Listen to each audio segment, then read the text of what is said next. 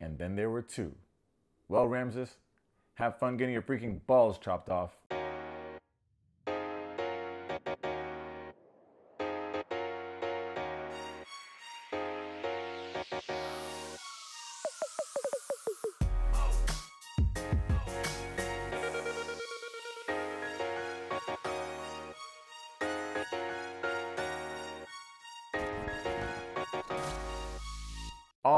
Welcome to Tait's Take. Today, we're talking about The Love is Blind season 7 finale, and I'm gonna be talking about it like you've seen it too. If that's something you're into, hit that subscribe button for your boy. For my regular Tait's takers, listen, I'm well aware that this whole video could have been 90 seconds, but no, no, no. I'm not gonna shortchange you. Was this the most exciting episode ever? No, it was one of the worst. But y'all deserve more. And I'm gonna try my best to give you more. Life gave me lemons. And by the end of this, we might have lemon water. Boom! Episode 12. This one's called Leap of Faith. This is the finale. We start off where we left off, in the middle of that Marissa and Ramses dust up. It's kind of like when you're flipping through the channels, remember channels, and you see a movie that you're kind of interested in, but it started about an hour ago. So when you turn that thing on, you spend the whole time looking for clues, trying to figure out what's going on. That's pretty much what Netflix is doing with this season of Love is Blind. So, all right, cool. We're here. Marissa's telling him that she wants to marry him. Yeah, that's great. We've been hearing that the whole season. What's really going on? We learned that apparently Ramses was talking to his niece's mother. Isn't that his sister? This dude is too fake progressive for his own good. Anyway, he talks to her and his brother, but for some reason, his brother's mother's son still has a lot of reservations, and a lot of that stems from his last marriage. He tells her, You know, I didn't find out until way later that I hurt my ex way more than I thought. This is where I'm starting to realize, like, oh, he's he's breaking up with her. He tells her that, yeah, my heart is telling me to just go forward with this, but I followed my heart before and I done messed it all up. He says, this just boils down to our energies. Can my energy and your energy coexist in the same space? Or is it gonna be too much for me? He's like, yo, in the beginning, I loved your energy. She's like, bro, everyone loves my energy in the beginning. Just shut up. My man actually said the line, no, no, no, it's not you. It's me. No, bro, it's literally her. It's because you have a thing with her. It's like her and her energy. Then she tells him, look, bro, I don't think you should have come on this experience. Like, exactly. If he's telling her he needs way more time to suss out her energy, Love is Blind is a thousand percent not the show for you. Marissa's like, ugh, how can I be so sure and you're not? I just want someone for once to be sure about me. Poor thing, it is tough to watch. Ramses tells her, I think we can both agree that I never want to see you again. okay, okay, okay, okay, okay. He didn't say that, obviously. I'm just kidding. He says, there's nothing else to be said. She says, this is the worst day of my life. And if I had a time machine, I bet I can go back to when that Trump supporter broke up with her. And she said, this is the worst day of my life. Then, if this scene wasn't hard enough to watch, here goes the last piece of heartbreak. They're hugging goodbye. She's crying, sniffling, all getting her snot up in his shirt. She's like, just tell me, are you sure? And I guess one of his rat tails was covering up his ear because he didn't say anything. And she's like, are you sure? And he's like, I'm so sorry. Man, this is tough because I like Marissa. Watching her break down like this is nothing that I can take pleasure in, but I know someone who can. So naturally, she calls her mom, Vanessa, and she's like, Mom, we called off the wedding. I didn't see it coming. And her mom's like, What?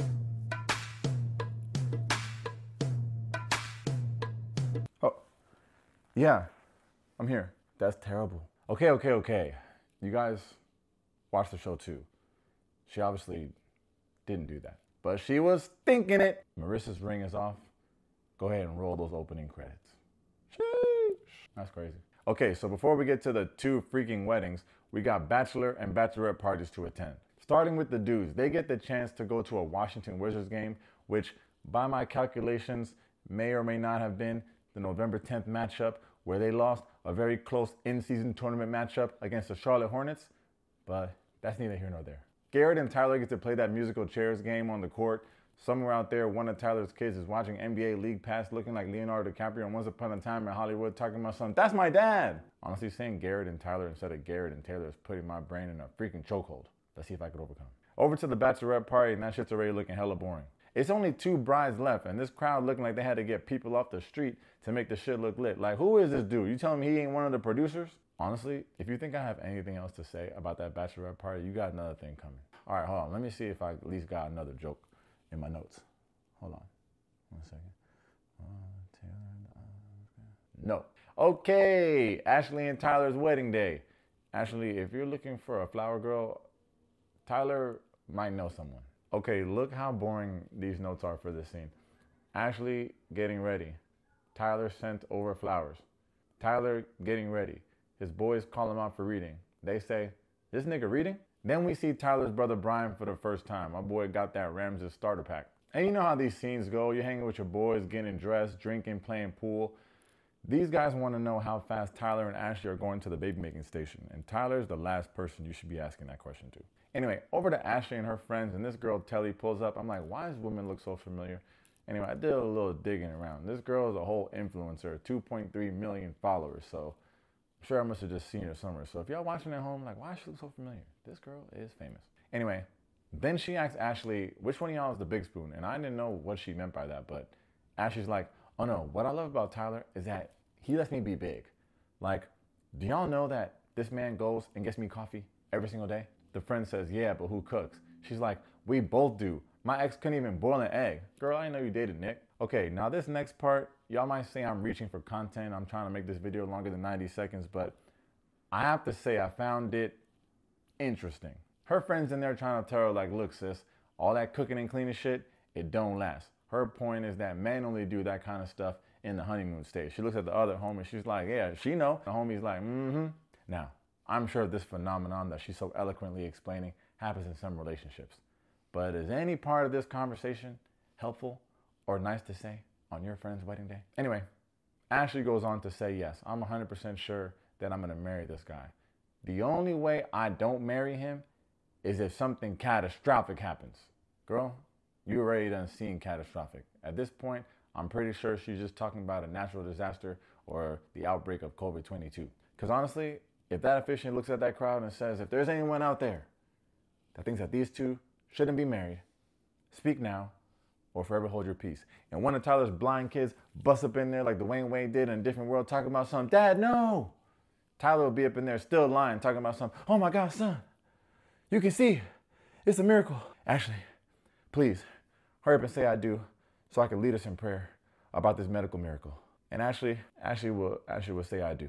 Wait a minute. What was I talking about? Oh, yeah, we're still with the couples getting ready. Tyler tells his boys he's 100% ready. Then with Ashley, we find out that her dad is going to walk her down the aisle just a little bit, and then he's going to hand her off to her mom, who's then to give her away to Tyler.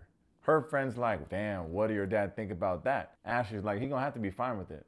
She says, you lucky you here, brother. And I love that for her. She lets us know that their relationship is great right now, but me watching it, I'm like, I love the boundaries that she's putting between her and her dad. It's like we made some progress, but that don't mean you get all the privileges and the access in my life.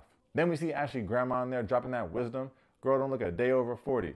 Her grandma look younger than Marissa's mom and Hannah. But for real though, what a nice treat to see Ashley with her mom and grandma. I know y'all be fast forwarding these scenes, but this stuff is nice to see. They're both out there giving some sound advice that maybe someone out there watching don't have that kind of relationship and they can get something from it. So when we talk about these episodes being boring, like, yeah, they're boring. But there's some gold sprinkled along the way. This whole thing is a nice little conversation. It's basically about how when Ashley's grandfather died, that's when she started to look at forgiving her dad. And her mom says, Look, you had a choice to make. And the way that you chose to heal from that trauma I'm so proud of you. I mean, y'all keep y'all keep fast forwarding, but I'm gonna be watching the whole thing so I can report it back to you. I don't know. When I watch scenes like this and I see where Ashley's coming from and what she's been through, it's kind of making more sense why she would be open to giving Tyler more chances than maybe someone else would. I'm not saying what you did was right. I'm just saying some things are starting to add up. And speaking of family moments, we finally get to meet Tyler's mom, Dawn, and she got the right name, Dawn. Because I bet she been cleaning up his messes for years. Ayo. Pew, pew, pew. I don't know if it deserves a like, but I would take one. Okay, okay, okay, get serious. Because it's Tyler, we know that he's immediately crying. His mom's like, What the hell? Yo, what's wrong? Is it nerves? Are you afraid that she's gonna find out you taught your son how to ride a bike? He's like, No, no, no, it's not that. I'm 100% sure I'm gonna say yes. I'm gonna be in shambles when I see her walking down that aisle. Like, my palms are sweating, my knees are weak, mom's spaghetti. this is serious. Okay, then just when you thought that Netflix was done dropping us off in the middle of conflicts, we find out that Tyler's dad was not invited to the wedding by Tyler. He's at home dying, but it's his own fault. What? And if I missed something, y'all please tell me. If maybe he described it in the pods or something like that. What? Where is he? What's happening? What? Get me there. Okay, now it's time to walk down the aisle. His grandma is also there. It's obviously his dad's mom. His walkout was so anticlimactic. And can they get a wider doorway, please? Okay, back over to Ashley. She comes down to meet her dad. This dude's wearing all black like he's going to Mercer's wedding. Sorry, that was too soon. Anyway, he's just out there saying all these Nigerian dad things. I don't know. I think he's trying to get his own Netflix show. Her dad starts crying. And we can tell kind of like how they describe the relationship between Ashley and her dad. This man has obviously brought her a large deal of pain. And I don't know Ashley personally, but I can tell that she healed from that pain, which is not easy. And not everyone can do that. So I just got to shout her out. They're headed to the altar. And can someone get these people a wider doorway? Anyway, her dad drops her off with her mom, and her mom brings her to Tyler. Tyler gives his vows. Of course, he's already crying. Ashley gives her vows, and she's also crying. The officiant looks at Tyler says, Tyler, do you take this woman, Ashley, who's better than you in every single way, to have and to hold your kids' hands when they cross the street for richer or for $30,000 in child support poor, as long as you both shall live? Tyler says, I do. The officiant looks at Ashley, leans over and whispers in her ear, do you know about the kids? Ashley says, Yeah, but they've never seen him before. Officiant says, Okay, that's good. Ashley, do you take this man, Tyler, to be your unlawfully wedded sperm donor and get passive aggressive texts from his baby moms when you pick up the kids from karate and get them ice cream? But she specifically said, Them kids don't need no damn ice cream and sickness ain't a health as long as you both shall live? Ashley says, I do. The whole time I'm watching this scene, I'm like, this really could have been a cute love story. And honestly, it might still could be. Now they're about to jump the broom, and I bet Hannah's gonna come by and grab it so she can sweep up her kitchen. Also, Ashley ate with the I do shoes. Nice touch. I wish Netflix would have showed that, but they're not in the business of showing things. As soon as we understand that, we'll all be better off. Look, we'll see what happens at the reunion. But if she stays with this dude after the dust settles, who am I to judge? As long as she gets the truth, what she does with it is her business. Tyler ain't my friend. Tyler ain't my brother. I'm just watching a TV show, so I don't have the space to be judging this dude, especially if we don't hear his side of the story.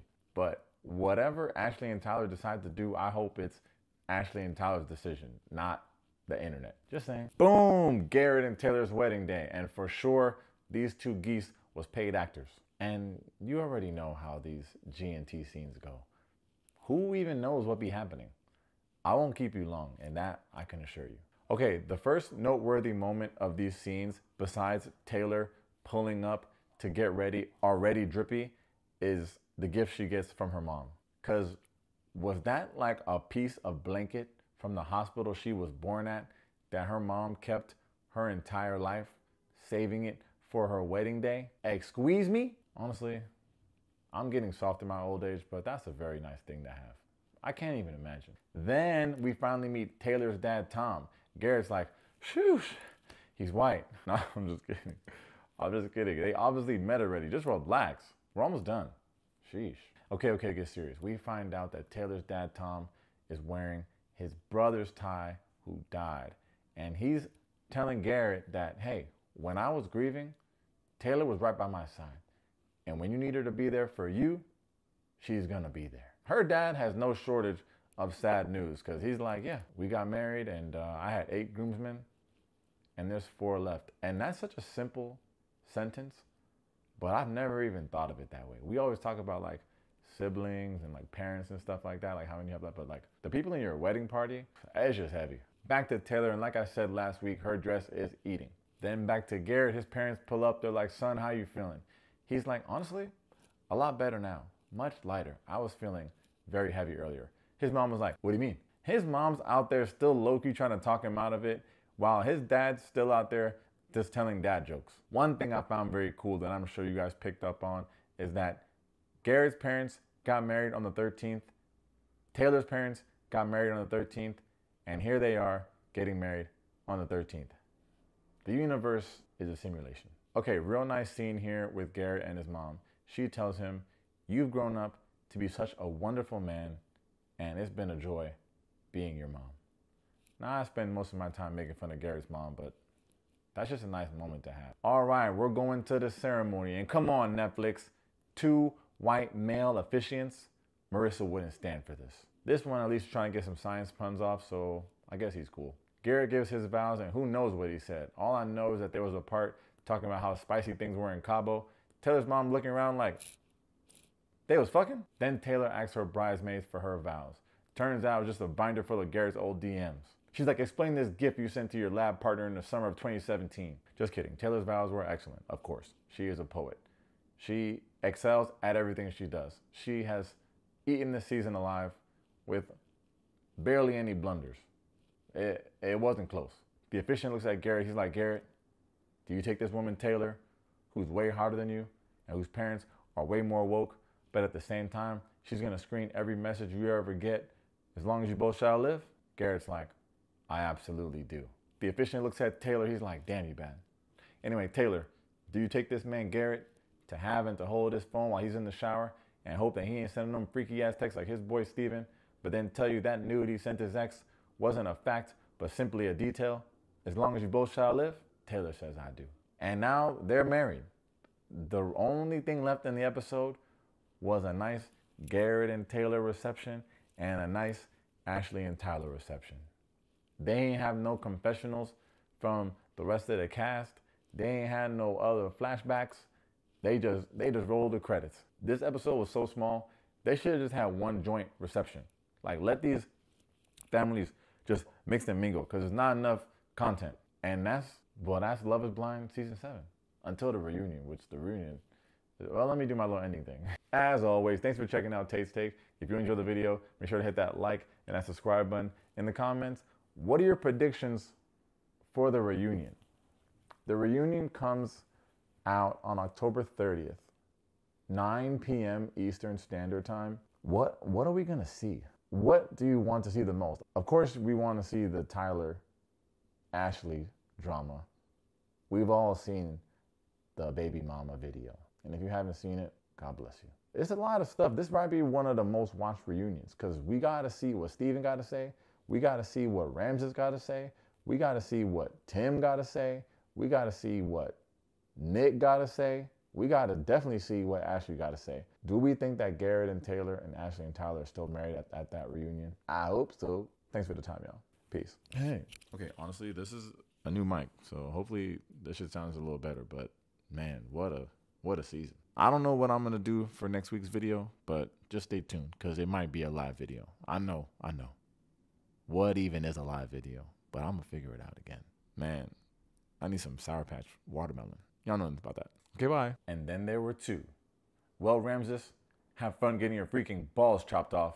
Honestly, though, if given the choice, I bet Ramses would rather get his balls chopped off than have sex with a condom. I can't put that in the intro. Maybe I'll put it at the end.